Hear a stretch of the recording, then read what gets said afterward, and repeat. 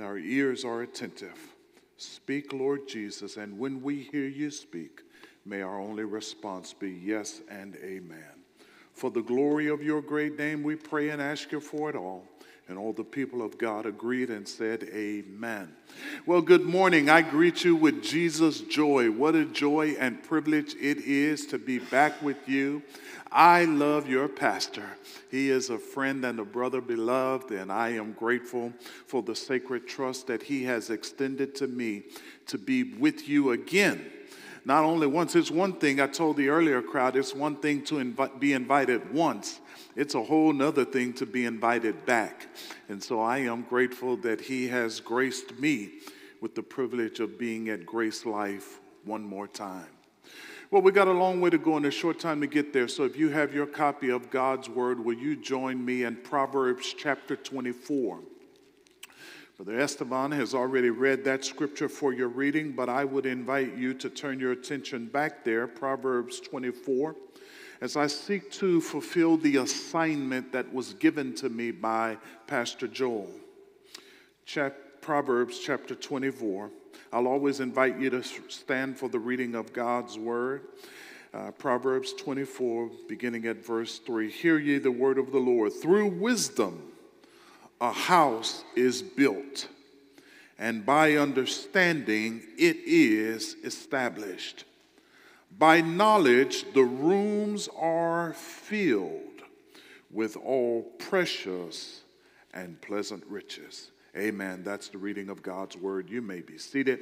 I simply want to use again in the fulfillment of my assignment, building blessed families.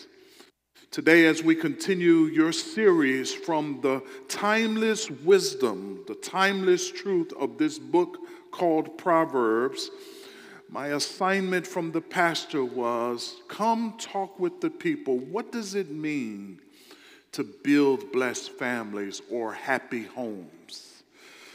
Proverbs is known for its practical advice and for its deep insights.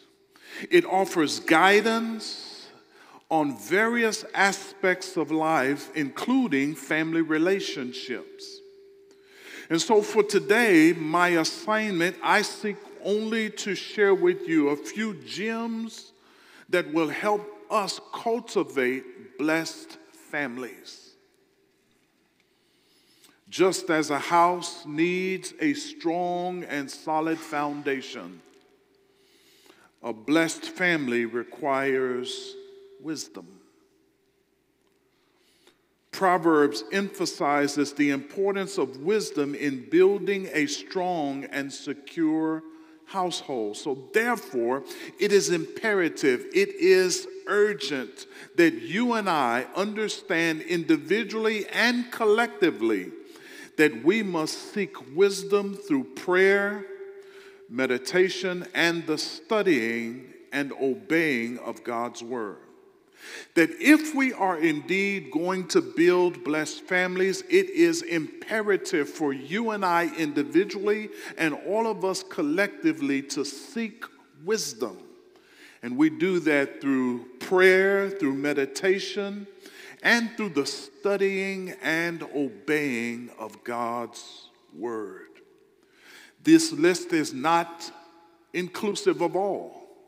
It's not as expansive, but just want to deposit some truths, some principles that you and I may, may be able to glean from and apply to our everyday lives that might help us in the establishing of blessed families. We start off by talking about wisdom. Wisdom is necessary. Wisdom is not knowledge. Knowledge is important, but knowledge is just the gathering of information. You can go to school to get knowledge, you can take classes to get knowledge, but wisdom comes from God. In fact, James says that if anyone lacks wisdom, let him ask of God who gives liberally that it's more than just having knowledge, it's just more than just reading scripture for knowledge base, but what do we do with what God has deposited in us? I spend a lot of time with a lot of pastors, and I'm always intrigued when I enter into pastors' offices because, in most cases, they have bookshelves that are full of books. A lot of knowledge, a lot of books. I'm guilty of that. I've got books everywhere. In fact, my wife tells me, Don't you bring another book to this house. We don't have enough shelves for you, all of your books. But I'm always intrigued First of all, have you read all of those books that are on your shelf? My wife often asks me that. Do you read all of those books? And many of them I have, but here's the more important question What have you done with all of the knowledge that you have attained from all of the books that you've been reading? Because it's not just good enough to gain the knowledge if we gain the knowledge and, like a book on the shelf, we place it there and for the rest of our days does nothing but gather dust. So we understand that we, as God's people, must not be hearers of the word, but we must be doers of the word. We are those who hear the word, understand the word, apply the word, and obey the word. And in those steps of hearing the word and understanding the word and applying the word and obeying the word, then we individually and collectively can, out of the overflow, pour into our families and develop families that are blessed. So, wisdom is necessary. But not only is wisdom necessary, love and respect is necessary. Proverbs 15, 17 says it this way Better a meal of vegetables where there is love than a fattened calf with hatred. In essence, what he's saying that it really doesn't matter what's on the table. You might not have much on the table, but it determines. But if you, well, sorry, even if you don't have much on the table, if you have love at the table, then it will make what's on the table taste a whole lot better. That even if you don't have the fattened calf, if you don't have the abundance of resources, if all you have are vegetables, but if you have love, you have all that is necessary. So it's not always about what you have on the, ta- on the table, but it really necessitates who you have at the table. Because if you have the right people at the table, then what's on the table becomes a whole lot more better love and respect. And I know that may seem almost uh, too simplistic for us to understand because you would think that love runs in abundance in many families, and that's not always the case. Love is the cornerstone of a blessed family. It fosters unity, compassion, and understanding amongst family members that if there is love and respect at the table, you can have hard conversations around the table. It's often said around holidays that when families gather together, there's some rules. That when you gather around the table, you don't talk about sports, you don't talk about politics, and you don't talk about religion. But when there is love and respect at the table, you can have conversations that perhaps everyone does not agree about, but you can disagree without being disagreeable. And so it's important that we might have love and respect, even amongst family members. And therefore, we must teach and demonstrate respect for one another, acknowledging that each person's opinion is important but each person's inherent value and worth is important. That your opinion matters because you matter. We want to hear from you. But unfortunately, at many tables or in many families, there is this dichotomy of, of you do what I say, but not what I do. You listen to me, but I will not listen to you. But when there is love and respect, we understand that everyone at the table, every person in the family is a valued member of the family, and therefore they matter. Love and respect. Another simplistic truth that we might need to apply if we're going to really develop blessed family is this whole idea of communication. Proverbs 15 and 1 A gentle answer turns away wrath, but a harsh word stirs up anger. Effective communication is vital for resolving conflict and nurturing healthy relationships within the family. We don't know how to talk to, any, talk to each other anymore. We now live in a society where social media and those little devices called cell phones and iPads and computers have dominated our families. And now you can go into tables, both in the homes and in restaurants, and you might see four people at the table, and everyone's on their devices, and they're talking to people in other places around the world. They're scoping out what's going on in social media, and the very people that's at the table, there's no conversations.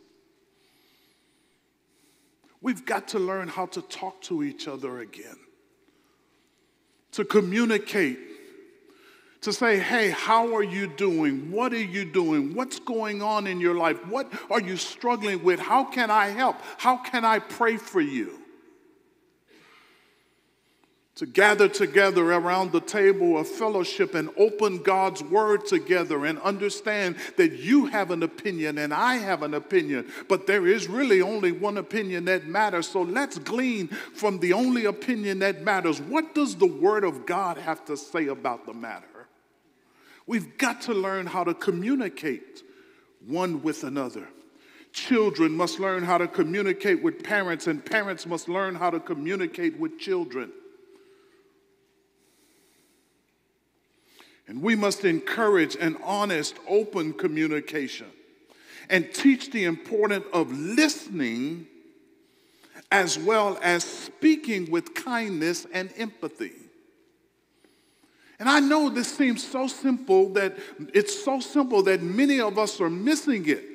But families are not talking, families are not communicating, and these devices called cell phones and, and, and tablets and all of that stuff is adding to the disconnectedness even within families.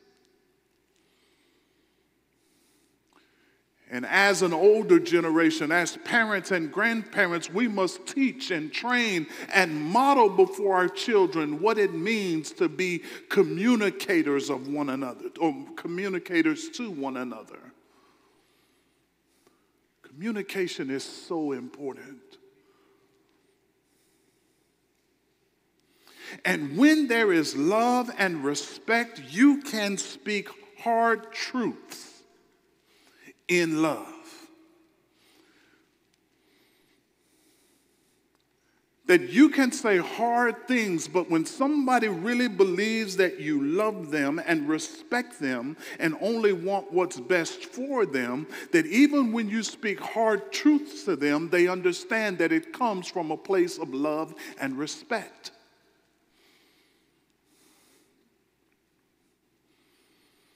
Love and respect is imperative. Communication is imperative. Discipline and instruction is important. Proverbs 22 6, that familiar passage of scripture train up a child in the way that he should go, and when he is old, he will not turn away from it. We have a responsibility to train up children, train up the next generation. We must teach them, we must discipline them, we must instruct them, we must teach, train, and model what it means to be a disciplined believer. Discipline your children, and they will give you peace. They will bring you delight or bring delights to your desires. Children long for boundaries. Because discipline, when it is administered with love and consistency, guides children toward wisdom and maturity. Discipline, when administered with love and consistency, guides children toward wisdom and maturity. We're looking at a younger generation that seems to be running amok, and much of it is because there are no boundaries. No one has taught them, no one has trained them, no one has modeled before them what it means to be disciplined. And so we must be the example for our children and grandchildren of what it means to be disciplined. They must learn how to communicate from us. So, therefore, we must be able to provide constructive discipline and instruction that is rooted in love and aimed at nurturing character and integrity. We have a responsibility because if we're not raising our children, society will raise our children. And they will get their guides, they will get their direction from society. They will look to their friends to get answers that they ought to get from their parents, and their, their, their peers will give them answers that, in many times, are shaped by the world. You don't want the world raising your children, but when we look at this condition of our society now, we have children that are running amok, and it could be resolved if parents would take serious their role of raising up, training, teaching, and modeling before their children what it means to be a fully devoted follower of Jesus Christ.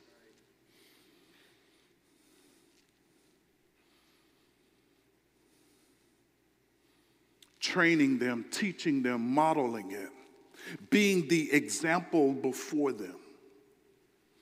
That when they see or when they need to see a fully devoted follower of Jesus Christ, they ought to be able to look no further than their mother and their father. When they're looking for relationships that are the model and the example of godliness and respect and love, they should be able to look to their parents and see it modeled before them, and therefore then they duplicate what they've seen. But when they don't see it, then they start looking for it from outside cues and they look for it from their friends and social media and Hollywood.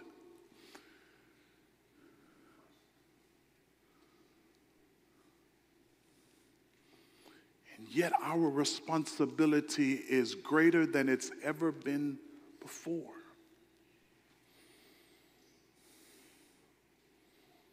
So, therefore, we must train up our children. We must teach them. We must model behavior because we cannot teach what we have first not embraced.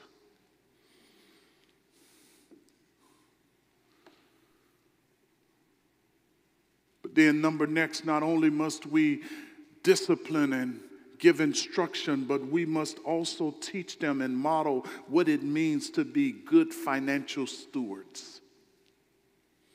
Proverbs 3 9 and 10 honor the Lord with all your wealth with the first fruits of your crops, then your barns will be filled to overflowing. Now, this is not some model for prosperity, but all it's simply saying is that if you prioritize your money, if you make God first in your life, then God will bless you with abundance. That if you honor the Lord with your wealth, then the Lord will honor you and fill your barns to overflowing. Proverbs 13 22 says that a good man leaves an inheritance for his children and his children's children, but the sinner's wealth is stored up for the righteous. I was telling a group a few weeks ago when we were talking about finances, I said, Listen, God does not want your money. He owns the cattle of a thousand hills. He created all. God does not need your money. God wants you. And if God wants you, I mean, if God has you, then God has everything that belongs to you including your money, that when God truly has you, He reprioritizes where you spend your time and how you use your talents and how you give your resources. All God wants is you. Now, that may not encourage you, but that encourages me that God wants me. As messed up as I am, as faulty and fickle as I can be, God wants me, and the good news from glory is yes. That don't encourage y'all, but that encourages me. He wants me. He loves me. He sent his son for me.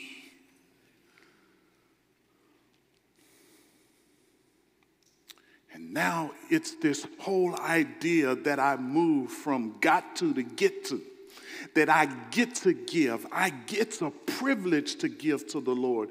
And He resets all of my priorities. Honor the Lord, and we as parents must learn to teach and model and train our children how to live within their means.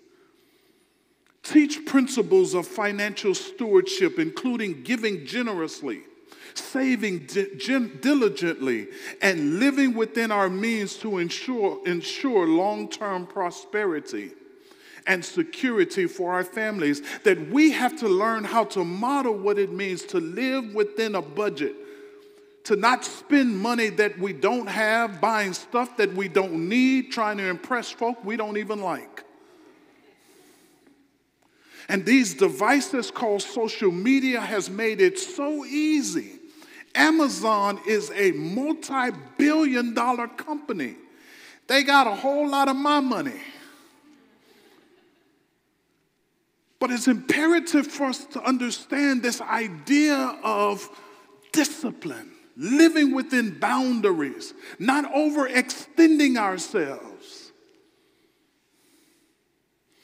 But in a society where everything is instant, you pull out your credit card and you just charge it and charge it. Some of you are old enough to remember layaway. Remember layaway? This younger generation know nothing about layaway. There used to be a time in stores when you would go to a store and you would see something you like and you would put it on hold, and every week you would pay a little bit on it and pay a little bit on it until you paid it off, and then you get to take it home. We don't have layaway anymore. Now we charge it and then we pay exorbitant amount of interest rates on our credit cards and then we're making banks rich because we're spending interest money on interest buying stuff, and then many times once we've got it paid off, we can't even wear it anyway. I was going through my closet a few weeks ago and I pulled to the back of the closet and I had a whole set of outfits that I had purchased, and all of them still had their tags on them. And I'm not unique to that because some of us are guilty of that. We buy stuff that we don't need spending money that we don't have. And all I'm simply trying to help us to understand is we must learn how to discipline ourselves and live within our means. And we must teach and model before our children what it means to be disciplined, to be able to say no. Let's work for it. Let's save toward it. Not buy now and pay later. But let's build a plan, let's build a strategy, and let's start putting away and saving and working toward it. Because in doing so, we're teaching them what it means to be disciplined. So we must model before our children how to honor the Lord with our wealth.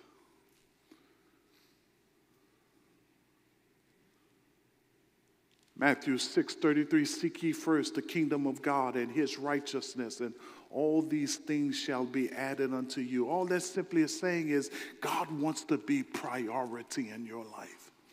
That when you make God number one in your life, it reshapes your priorities. That which used to be important is no longer important.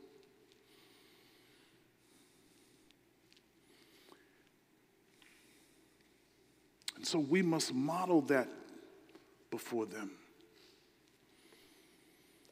Again, this list is not expansive. These are just a few principles that if we practically apply them to our families individually, then we can begin to help turn around our families. Our families are in trouble. Our nation is in trouble because our families are in trouble. Our churches are in trouble because our families are in trouble. As goes the family, so goes society. And we must begin to reprioritize God and make Him the center of our lives. We must be people who tell the truth in love. We now live in a society where that society says there's no such thing as absolute truth that I have a truth and you have a truth, and my truth may not be your truth, but there is a such thing as absolute truth, and that is the Word of God. And we must return to the Word of God as the center of our truth. And while you have an opinion and I have an opinion, all of that's good and dandy, but we must rely on the only opinion that really matters. There is an absolute truth. And we must return our children back to the truth. And we must center our families around the foundation of this truth, which means it becomes necessary for us to spend time in God's Word together. I just need to say that one more time. Because I'm praying, I'm preaching a whole lot better than y'all are responding. We must return to the Word of God, and we must make the Word of God a foundation. If our families are going to be turned around, if our families are going to be blessed, it's going to be when people, when families reprioritize and make God first in their lives. Put away the devices. Spend time in God's Word. Turn off the television. Spend time in God's Word together pray together, study together. It is the families, it is the parents' responsibility to disciple their children. It's not the church's responsibility to disciple children. Priority goes to the family. It's the children who are supposed to be discipled by their parents.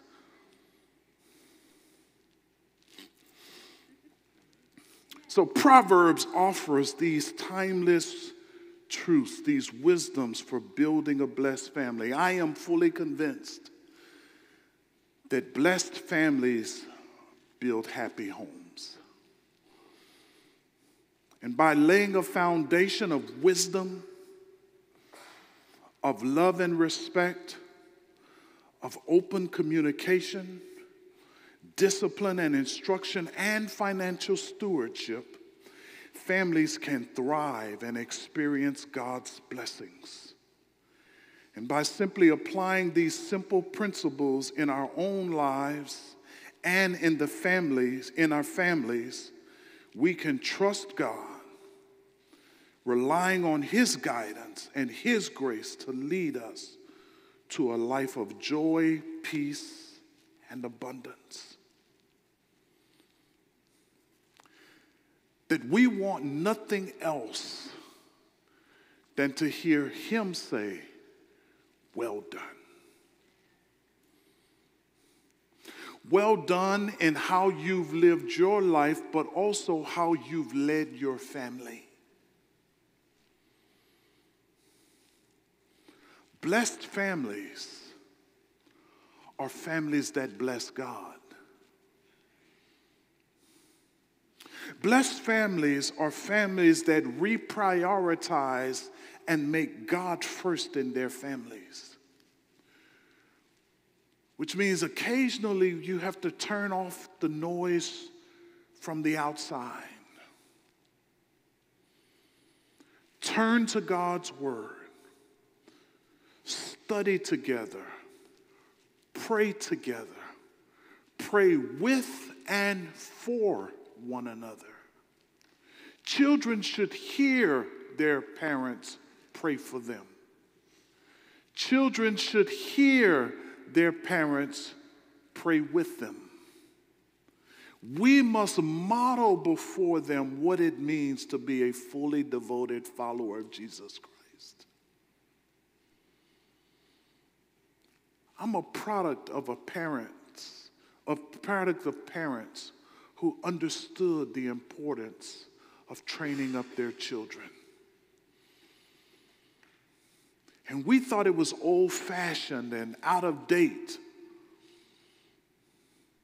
But maybe we need to return back to the way things used to be. When there was an expectation, discipline in the home,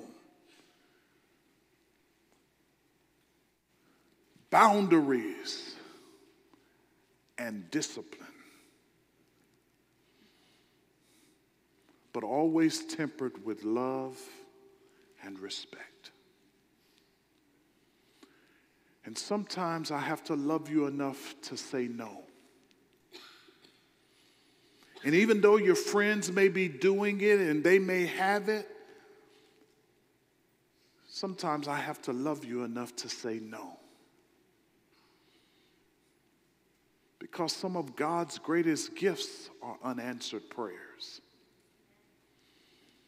And we've got to teach our children what it means to work hard, to study hard, to earn what they have and appreciate what they have. And if we don't teach them those lessons, then they leave our homes and enter into a society that will eat them up without the principles that they should learn from home. That if I want my family to be blessed, I individually must bless God, but I must also teach my family how to bless God. Bless God in how we treat each other. Bless God in how we treat others. Bless God in how we treat our finances. Bless God in how we steward the family relationships. Because I don't know about you. But when I look at what's going on in our society, our nation is in trouble. Our families are in trouble. Our churches are in trouble. And yet we have the standard. We have the answers. And if we're going to turn it around, we must return back to the Word of God. To not just be those who claim to be people of the God of the book, but to be people who live according to the book. And if we do that, then we indeed will have blessed families. Let's pray together. Father, we thank you.